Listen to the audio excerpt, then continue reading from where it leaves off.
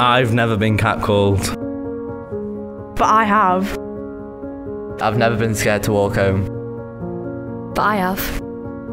I've never been assaulted or sexually harassed. But I have. I've never been scared of rape. But I have. 84% of women get catcalled.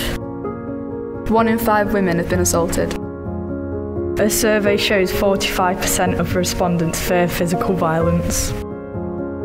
Us as boys have never experienced sexual harassment. But it doesn't mean it doesn't affect them. If you ever feel unsafe while walking home, remember to call 999 if it's an emergency.